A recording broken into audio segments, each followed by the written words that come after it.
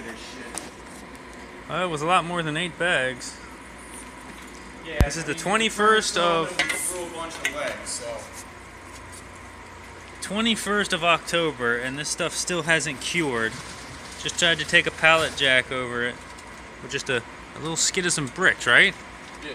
You know, not a great amount of weight, and this crap still isn't cured. We've tamped it, we've put thousands of pounds of paper rolls on top of it with plywood to help compact it. It's been here for a couple months and it's still this soft. In fact, the excess that we scraped off the top is still very uh,